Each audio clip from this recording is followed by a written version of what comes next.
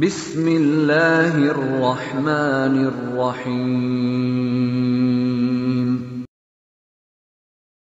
زمانہ پر سلوات اللهم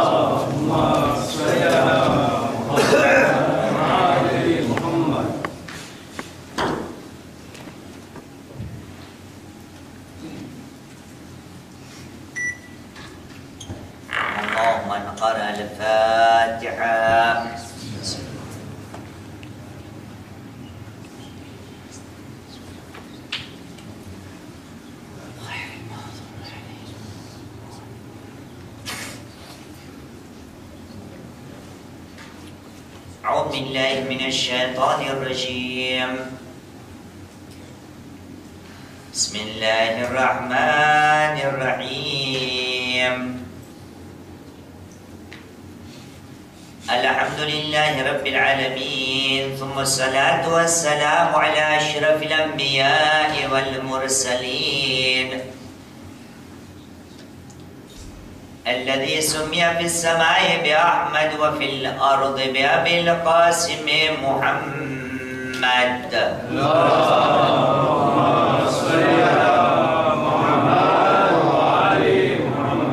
وعلى آل بيته الطيبين الطاهرين المعصومين الذين أذهب الله عنهم الرجس وطهرهم تطهيرا. اللعنة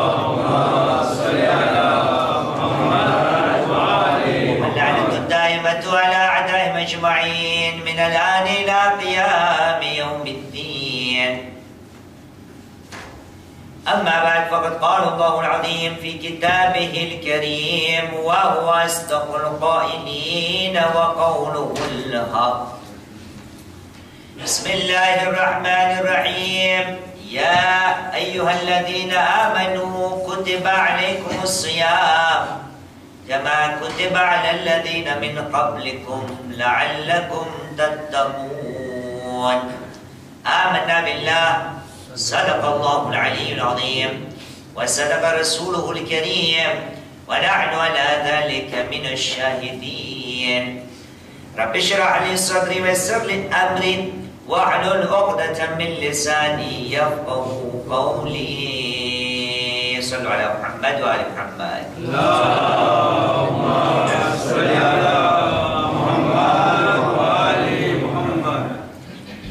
મશહૂર ઓ મારૂફ કુરાન મજીદની આયત, જે જિંદગી ભર આપણે માહ રમઝાન મુબારક દરમિયાન ઝાકિરીને કેરામ અને ઓલમાએ કેરામથીને સાંભળતા આવ્યા છે અને બનવા જોગ નથી કે દુનિયાની સપાટીમાં ક્યાંય પણ માય રમઝાન મુબારકનો ચાંદ નમુદાર થયો હોય અને માય રમઝાન મુબારકની ક્રિયાઓ થતી હોય, ત્યાં કમ સે કમ એક ફેરે આ આયતની તિલાવત ન કરવામાં આવેલી હોય. એનું કારણ એ છે ક્યાંક એવી આયત છે કે જેની અંદર પરવરદિગારે આલમ માહે રમઝાન મુબારકના હેતુને બયાન કરી રહ્યું છે. માહે રમઝાન મુબારકનો મકસદ શું છે? માહે રમઝાન મુબારકની અંદર દાખલ થવા બાદ નતીજો શું નીકળવો જોઈએ? માહે રમઝાન મુબારકની અંદર દાખલ થવા બાદ નિવેડો કયો લેવો જોઈએ? માહે રમઝાન મુબારકની અંદર દાખલ થવા બાદ ફેરફાર શું થવો જોઈએ? માહે રમઝાન મુબારકની અંદર દાખલ થવા બાદ એમનો ફાયદો કયો હોવો જોઈએ? સંભાળ્યું તો એક મુહમ્મદ વાલે મુહમ્મદ الله محمد بار اللهم صل على محمد وعلى محمد تو معروف سوره بقره 183 جمع ارشاد رب العزت بسم الله الرحمن الرحيم يا أيها الذين آمنوا كتب عليكم الصيام ای ایمان لاوا વાળાઓ તમારા ઉપર રોજાને લખી નાખવામાં આવ્યા જે પ્રમાણે તમારી પહેલેના લોકો ઉપર લખવામાં આવ્યા હતા કમા કમા કુતિબ અલલ લદીન من قبلكم લઅલ્લકુમ તત્તકૂન જેથી કરીને તમો તકવા હાસિલ કરી લ્યો બની શકે છે કે તમો મુત્તકી બની જાઓ યાને ખુદાએ કહી દીધું મુસલમાન સલાત પડે મુહમ્મદ વાલે મુહમ્મદ પર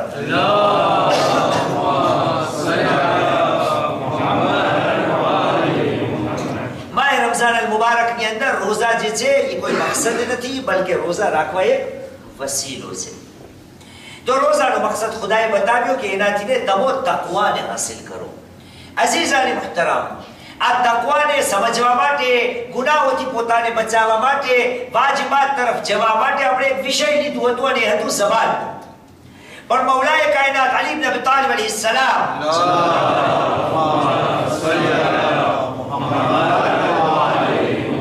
તારીખો આવવાની સાથે આપણે વિષયને એક તરફ છોડ્યું હતું અને મૌલાએ કાયનાતના હકને અદા કરવાની કોશિશ કરી રહ્યા છે.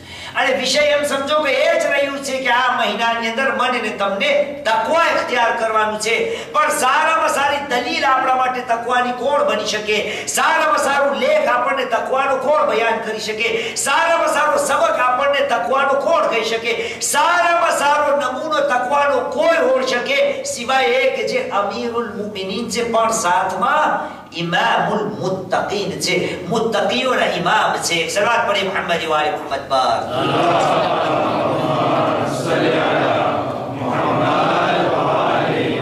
તો અઝાને મુહતરમ તકવા કઈ રીતે હાસિલ કરવું જે ઇમામને આપણે માને છે જેની તારીખો આપણે મનાવે છે આજની તારીખ જ્યારે આવી ગઈ અને કે 20મી માહ રમઝાન અલ મુબારક તો જેમાં જનાબ મુહમ્મદ હનફિયા કહે છે ક્યાં એ રાત આવી ગઈ કે જેની અંદર અમારા બાબા બહુ જ કમજોર પડી ગયા છે. હાલ એ છે કે આ ફાતહ ખૈબર, બદ્ર હુનૈન, ની અંદર જે બેશુમાર લોકોને જહન્નમ વાસિલ કરવા વાળો અને બહાદુરીની સાથે લડવાઈઓ અને લડાઈ કરવા વાળો ઇન્સાન મોહમ્મદ હાનફિયા કહે છે કે આજે કુફાની અંદર અમારા ઘરમાં અમારા બાબા નમાઝ પણ પડે છે, તો બેસી બેસીને પડે છે.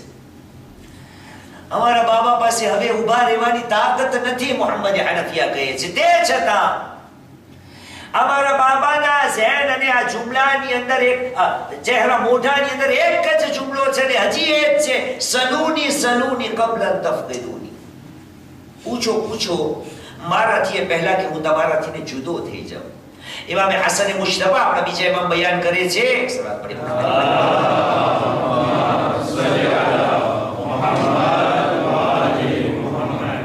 જ્યારે બાબાએ કહ્યું કે પૂછો પૂછો મને, એ પહેલા કે હું તમારાથી જુદો થઈ જાઉં, તો આપણા બીજા ઇમામ કહે છે કે જ્યારે લોકો આવવા લાગ્યા તો અમુએ કહ્યું કે, લોકો, તમે બાબાથી સવાલ કરો, પણ ઓછા ઓછા કરજો. તમારા સવાલોને ટૂંક, ટૂંકમાં રાખજો, કારણ કે અમારા બાબા પાસે હવે તાકાત બહુ જ કમ છે. તો સારે મહતરમ, આજની તારીખે અને કે 20મી માહ રમઝાન મુબારક ના અને આજની રાતે મોહમ્મદ હનફિયા કહે છે કે બાબા બહુ જ કમજોર થઈ ગયા છે. અને આ પૂરા દિવસોને અમારા બાબાએ વસિયતોની અંદર બસર કર્યા છે. અઝીઝો, આપણે નજર તો કરીએ, વસિયતો બહુ ઘણી છે. નહજુલ બલાગામાં છે, ઓ કિતાબમાં છે, આ કિતાબમાં છે. ટૂંક ટૂંક વસિયત આ છે, મારા તમારા મૌલા આપણાથી શું ચાહે છે? તો આપણા બીજા ઇમામ બયાન કરે છે કે અમને બાબાએ બેસાડ્યા, ખાસ કરીને હું અને મારો લાડલો હુસૈન અલી સલામ પણ સાથમાં હતા. અને અમને બંનેને સંબોધીને અમારા બાબાએ કહ્યું ને કહ્યું કે અહીં મારા બંને લાલ કુલલ હક. પહેલે તો કહ્યું, તકવાએ ખુદા ઇખ્તિયાર કરજો, ઇત્તકુલ્લાહ. અહીં મારા ફરઝંદો ખુદાથીને ડરતા રહેજો અને યાદ રાખજો, દુનિયાના પાછળ ન ભાગજો. અને અગર દુનિયા તમારા પાછળ આવે અને દુનિયાની વસ્તુ તમારાથી જુદી અને અલાહેદા થઈ જાય તો એના ઉપર અફસોસ ન કરજો. વરના તમો દુનિયાના ગુલામ થઈ જશો. પછી મૌલાએ કહ્યું, કુલ અલ હક. એ મારા લાલ, હંમેશા બનતી કોશિશ કરજો કે તમારી જબાનમાંથી ને હકની જ વાત નીકળે. જે હકની વાત હોય એને તમે હંમેશા સાથ આપતા રહેજો.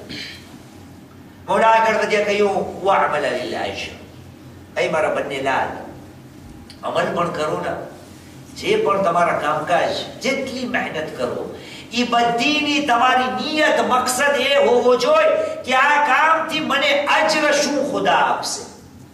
યાને કામ હંમેશા એવા કરો કે જેની અંદર ખુદાએ અજર રાખ્યો છે, જેની અંદર ખુદાએ ફાયદો રાખ્યો છે. પછી અમારા બાબા આગળ વધ્યા અને કહ્યું કે વકૂના લિઝાલિમે ખસના, વલિલ મઝલૂમે આઉના અય મારા બન્નેલાલ જ્યારે પણ ઝાલિમની વાત આવે, હંમેશા ઝાલિમ સામે ઊભા રહેજો અને મઝલૂમની મદદરૂપ કરજો. કુન લિઝાલિમ ખસમા.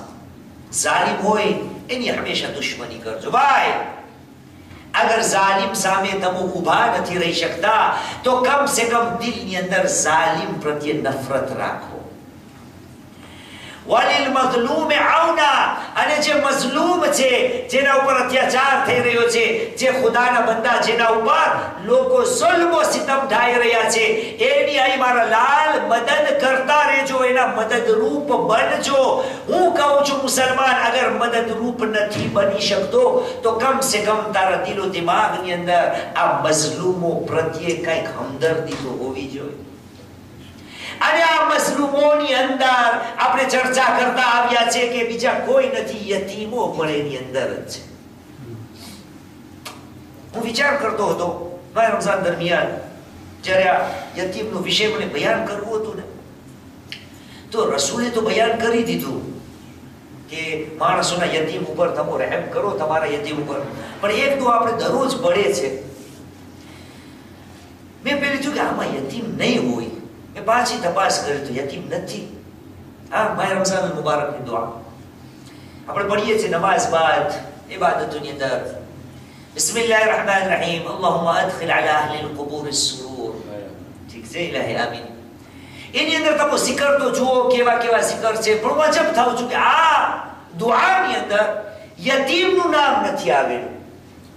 પણ જ્યારે ઊંડો વિચાર કર્યો તો મને એમ થયું કે શાયદ મારા ઇમામ કહી રહ્યા છે કે ભાઈ, આ દુઆની અંદર યતીમનું નામ લેવાની જરૂર પણ નથી. જે જે વસ્તુએ અમો જિક્ર કર્યો છે ને એ બધી વસ્તુ યતીમને જ લાગુ પડે છે ને યતીમને પણ લાગુ પડી શકે છે. દાખલા તરીકે જુમલો, અલ્લાહુમ્મા અગની કુલ્લા ફકીર. ખુદાયા, હરેક ફકીરને તું માલામાલ કરી. ફકીર છે પણ યતીમો પણ એ છે કે જે ફકીરની અંદર આવી શકે છે. અલ્લાહ મગની દૈના કુલ્લે મદીન. ખુદાયા જે બિચારો ગરજવાન છે ને, એના ગરજને તું અદા કરી દે. યતીમ પણ એની અંદર આવી શકે છે. અલ્લાહ મશફી કુલ્લા મરીદ. ખુદાયા હરેક બીમારને શફા. યતીમ પણ એની અંદર આવી શકે છે. અને આ પ્રમાણે જેટલી દુઆઓ છે સુદ્દા ફકરના બેગડા, અમારી ફકીરીને તું દૂર કર. આ બધાય માહે રમઝાન મુબારકની દુઆઓના જુમલા યતીમોને લાગુ પડી શકે છે. અઝીઝાને તરફ, અલી દુનિયાથી જાતા જાતા વસિયત કરીને જાય છે. અહીં લોકો ઝાલિમોના દુશ્મન રહેજો અને મઝલૂમોના મદદરૂપ બનવાની કોશિશ કરજો. જ્યારે આ બધું આપણા સામે આવી ગયું મવડાએ કાયનાત પછી બંને લાલને કહે છે કે આઈ મારા બંને લાલ, હું આ ફક્ત તમને બેને જ નથી કહેતો. ફજમાઉ મિન વલદી વ અહલી. મારે બધી ઔલાદને ભેગા કરો. મારા સગાવાળાઓને ભેગા કરો. વબલ્લગુ બે વસિયતી હાદી, અને મારી આ વસિયત જેમ બને એમ લખીને બીજા સુધી પહોંચાડી દેજો. આ કહેવા બાદ અલીએ કહ્યું ઇત્તકુલ્લાહ શરૂમાં કહ્યું ઇત્તકુલ્લાહ પાછું ઇત્તકુલ્લાહ કે તકવા ઇલાહી ઇખ્તિયાર કરો અને પછી ઘણી વસિયતો છે જેનું હમણાં zikr નહીં થઈ શકે અલ્લાહ અલ્લાહ ફી નઝમે અમરિકુમ તમારા કામકાજને ડિસિપ્લિનની સાથે ઓર્ગેનાઇઝેશનની સાથે કરજો અલ્લાહ અલ્લાહ ફિલ ઐતામ યતીમોનો ખ્યાલ રાખજો અલ્લાહ અલ્લાહ ફિલ કુરઆન કુરઆનનો ખ્યાલ રાખજો અલ્લાહ અલ્લાહ ફિલ જીરાન ધ્યાન રાખજો પડોશ આ બધી અલીની વસિયતો છે પણ ચર્ચા મને કેની કરવી છે તકવા અલીએ એટલો ભાર આપ્યો ભાઈ તકવા ક્યાંથી ને મળે અલીની જિંદગીમાં અગર જોવું છે કે તકવા કેમ મળી શકે? તકવાના રસ્તા બહુ ઘણા છે. પણ આજે એક જ બયાન કરવો છે. અને એ પૂરતો મૌલાની જિંદગીમાં છે.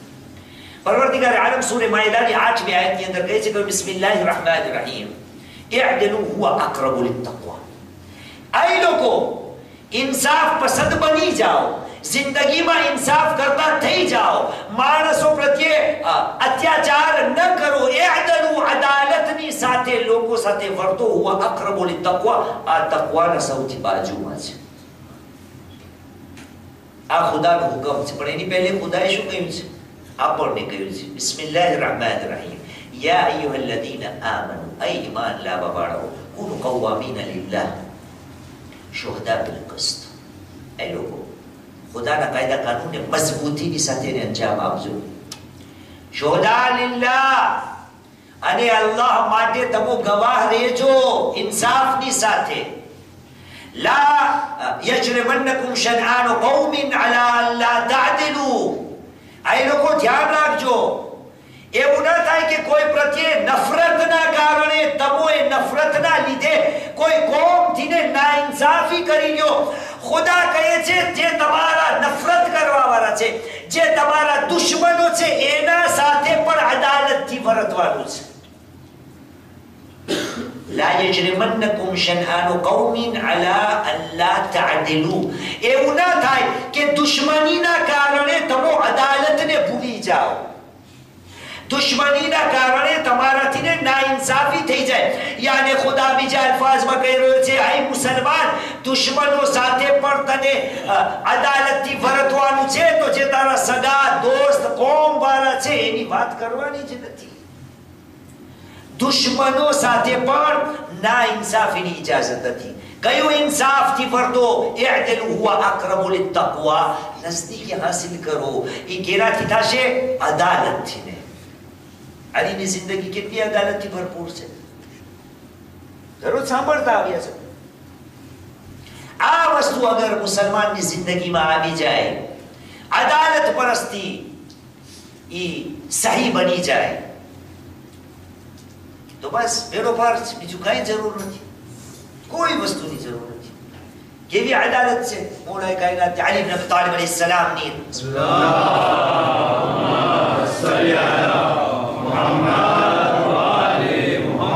एक और सलात पढ़ी मोहम्मद वाले मोहम्मद पर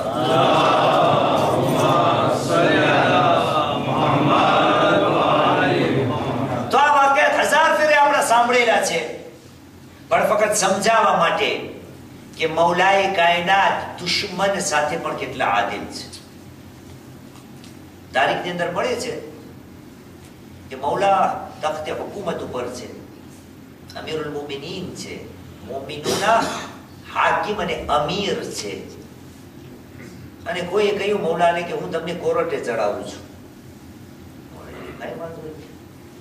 કોર્ટમાં આવ્યા.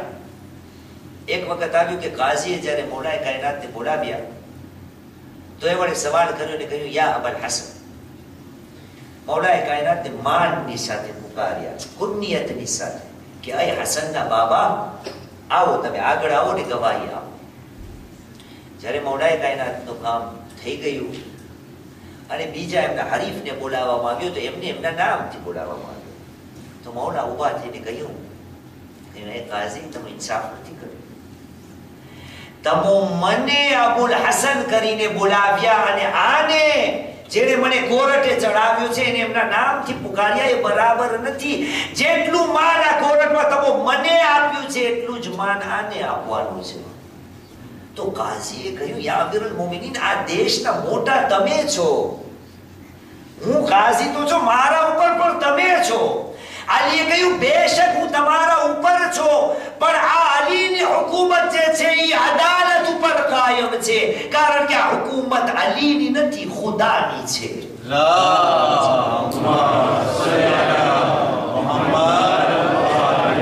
ખુદા ખુદ પોતે આદિલ છે અને અલીની હુકુમત અદાલત ઉપર છે જેટલું માન મને આપ્યું એટલું જ આને આપવાનું છે આવા કેટલા વાક્યા છે મૌલાએ કાયનાતની જિંદગીમાં અને આજે તો સૌથી જાજામાં જાજો લાગતો, પડતો દાખલો અગર કોઈને લેવો હોય તો એ આજનો છે. હવે હસન મુશ્તવા કહે છે કે જ્યારે એમને મુલજીમને સાહાબીઓ પકડીને લાવ્યા ના, તો અમારા બાબાએ કહ્યું અને કહ્યું, બેટા હસન, યાદ રાખજે આ એમને મેં જે મારા ઉપર વાર કર્યો છે ને અગર હું એનાથી ને ચાલ્યો જાઉં અને તને અગર બદલો લેવો તો યાદ રાખજે, એમને મુલજીમે મારા ઉપર ફક્ત એક જ વાર કર્યો છે.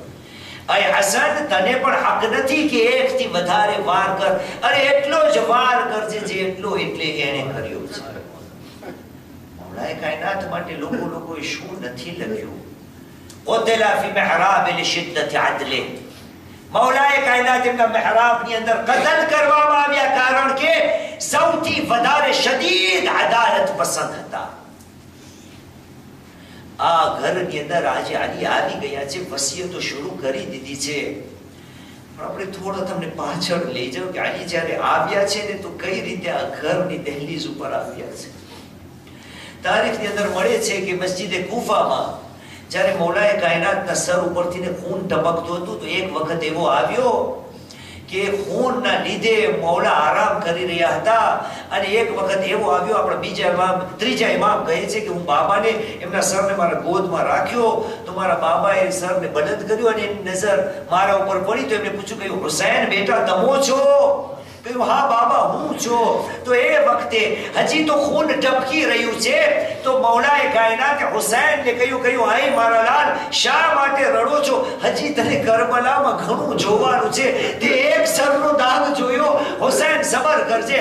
હા, આઝાદારો, હવે હુસૈન હસન અને સહાબીઓ મૌલાએ કાયનાતને ગુફામાં ઘર તરફ લઈ જઈ રહ્યા છે. અજીબ રિવાયત મળે છે. અરબાબ મિમ્બર બયાન કરે છે કે એક વખત એવો આવ્યો કે મૌલાએ હસન મુશ્તબાને કહ્યું કહ્યું, હે મારા લાલ, જરા મને આરામથી અને સારી સારી રીતે પકડો. કહ્યું, શા માટે બાબા? કહ્યું જ્યારથી ને સર ઉપર ભાર લાગ્યો છે ને, મુજ અલી આરામથી નથી ચાલી શકતા.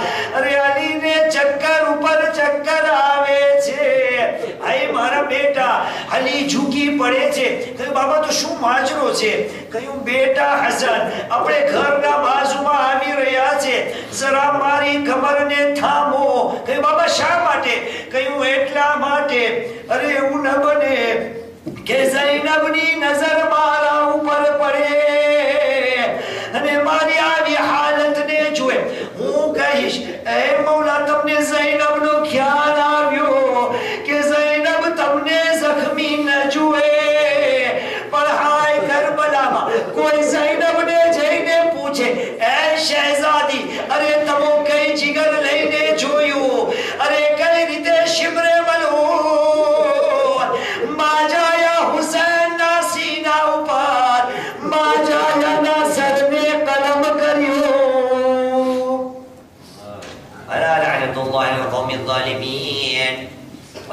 الذين ظلموا أي منقلب ينقلبون. إن لله وإنا إليه راجعون. رضا بقضائه وتسليما لأمره ما تنفسه